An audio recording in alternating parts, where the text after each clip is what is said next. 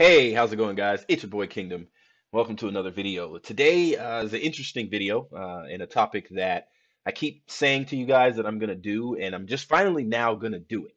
Uh, I talked uh, last week in a video that I did where I talked about the Stiks Live being, leaving the Stiks being my greatest regret in gaming, and it is.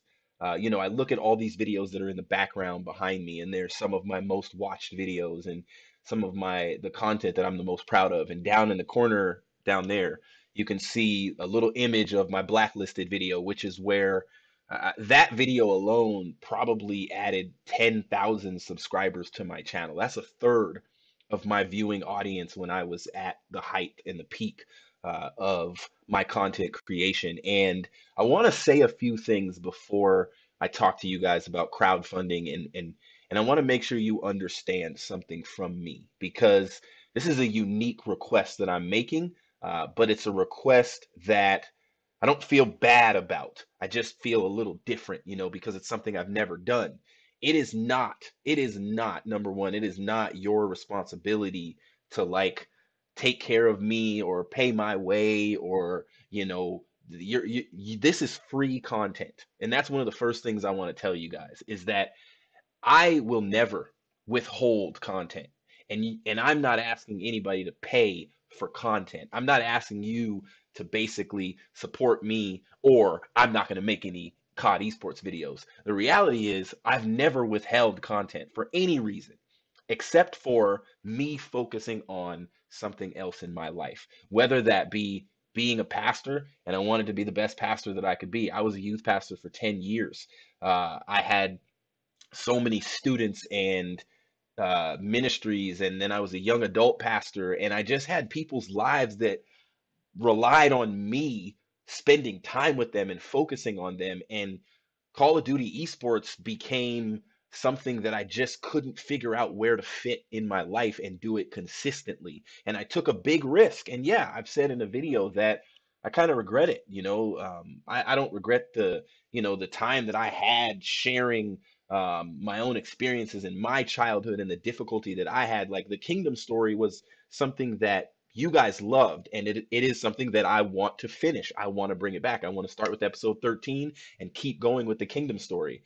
Uh, but the kingdom story is my story. You know, you guys know me as Kingdom Soldier, but Anthony, me, uh, I have a real story. I've been through some real stuff, you know, and all that, those stories were not stories that I made up. That's my life.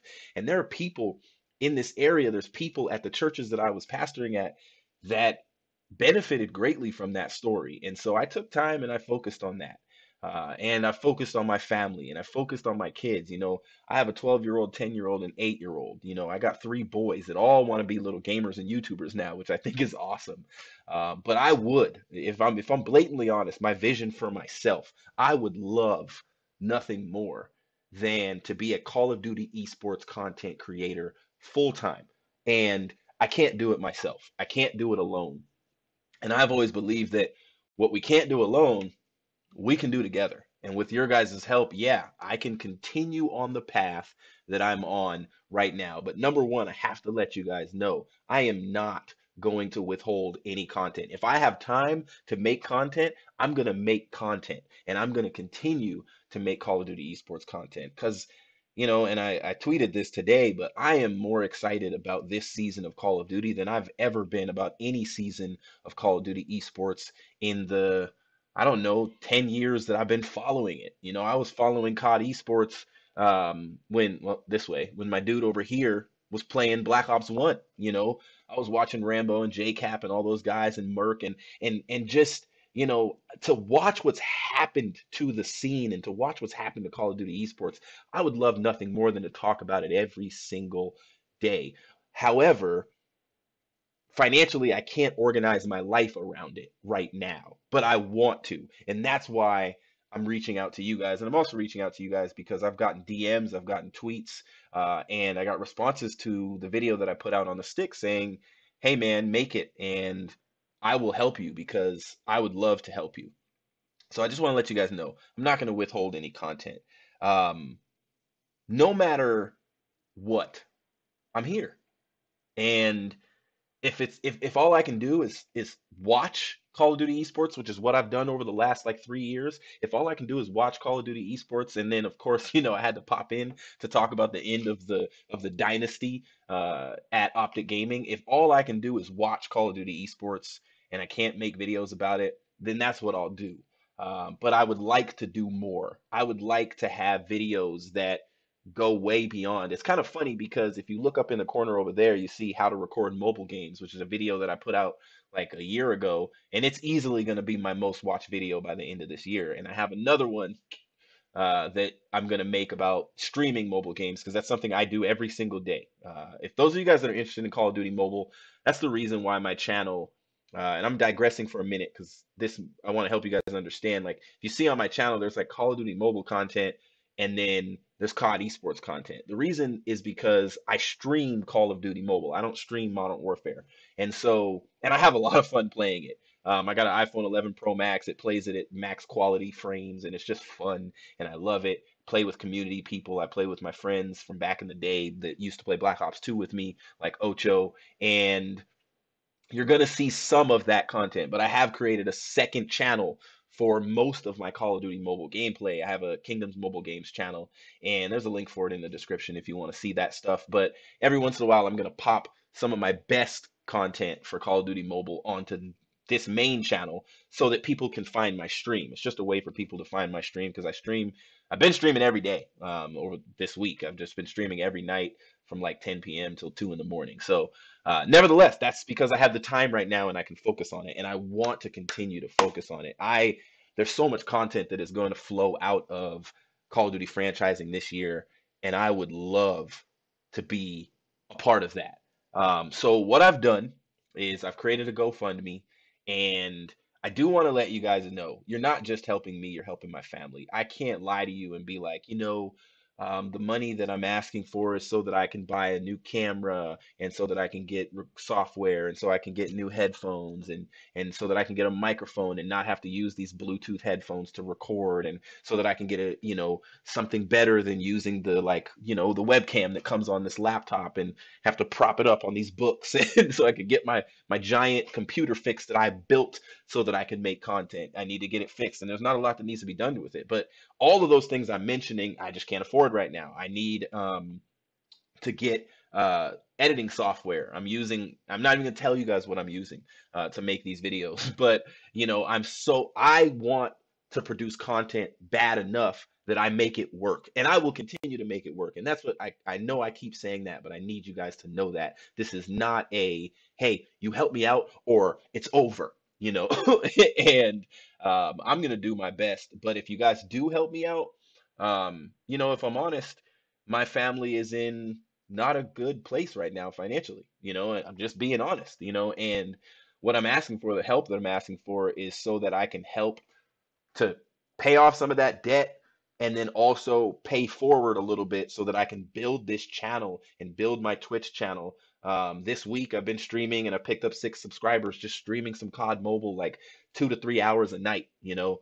Um, and so I know that if I continue to make content, I'll be successful. I believe in myself, and I know that a lot of you guys believe in me. And at the at the end of the day, you've provided help by watching my videos, by coming in my comments and telling me how much you missed my my my uh, content, and telling me like somebody was like, "Can we go back to 2013?" You know, like, and everybody's like, "I missed you so much," and and I miss you guys too. You know, I, I miss this YouTube community when I'm not involved and when I'm not a part of it. And on Twitter, all of the pro players, all the optic guys are old school, hashtag redacted, you know, all the throwback optic people. Everybody still follows me. Um, and watching the success that everyone has had, watching the success of the Hitches and the Landons and the goalies. And I mention those guys a lot, and I will always mention them a lot because regardless of what happens to me, they're my legacy. And that's what that's that's that's the way I think about it. You know, yeah, for most of you that know Hitch now, you were introduced to him by Hector, but Hitch was introduced to Hector by me. Um, and Hector and I had conversations about him, you know, and about his future. And he saw the same thing I saw, just a young, talented dude. You know, same thing I saw in goalie when I saw one montage that he made on Black Ops 2. I was like, I like this guy. And there's a new guy that I found in the community, a little secret gem um, that you're going to meet because I guarantee you I'm going to make content with him. I'm going to do some collabs. So let me tell you guys a little bit of what I'm thinking in terms of the content that I'm going to bring back. I honestly don't know about the potential of the Stiks, but I do know that I'm going to make a live podcast um, that is going to be a once a week podcast that I'm going to stream on my Twitch channel um, that is going to be live. Uh, and I don't know the day and the time and all that stuff yet, but of course I'll release it to you.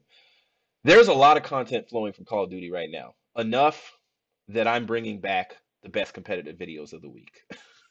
Easily the most successful series outside of the COD profiles. Easily the most successful series that I've ever done on my channel. To this day, most of the traffic that comes to my channel is from those videos, is from the best competitive vids of the week.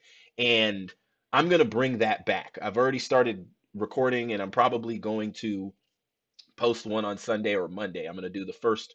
I, I'm not going to call it episode 37 or whatever, you know, based on all the ones that I did back in the day. I'm going to start over, uh, but I'm going to do best competitive vids uh, of the week. And I am going to bring back a podcast. And my goal is that I continue to upload every single day something Call of Duty esports related. Uh, I don't want this to be a variety channel. I'm not going to talk about Gears of War and all this kind of stuff and Halo. Um, I want to focus on Call of Duty esports because I love Call of Duty esports. My dude, Klee, uh, on Twitter said something the other day. He said one of the things he's learned about creating content is you you you can't treat your YouTube channel like Walmart where you can just buy everything there, you know. And it's like the difficulty of being a variety streamer as well. Um, if you find a niche, ride your niche and ride it out. And it's very similar to the advice that I got from Hex back in the day when he said, you have to introduce the community to a personality and to who you are or who you want to be online and never betray that. And for what it's worth, I will apologize for what maybe has felt like betrayal to you guys over the last two to three years where I've been uploading all this mobile content and all this kind of stuff. And, you know, I told you guys in the Stiks video, the reason I uploaded all the mobile content is because I got kids that play mobile games and I just uploaded what I could. I was playing a game with my son and I made videos about that because but now my son turned 12 on Christmas Day. Me and him we dropped together and we played Battle Royale on Call of Duty Mobile and so now I'm making Call of Duty Mobile content. But I made a whole separate channel to put all of that gameplay and stuff like that. So nevertheless, uh, in the description of this video, you're going to see a link to the GoFundMe. It's not a requirement, it is an ask. It is a I'm reaching out for your guys' help. Uh, and this isn't easy for me. Um, I've always tried to like handle my issues secretly and handle my problems secretly. Uh, but this is just an opportunity and I just want to see what happens because people told me, you know, hey, do it, do it, do it, do it, do it. I'll help, I'll help, I'll help. And so I'm going to do it and we'll see what happens. The sky's the limit, guys. Nevertheless, this is your boy Kingdom and I will see you in the next video. Peace out.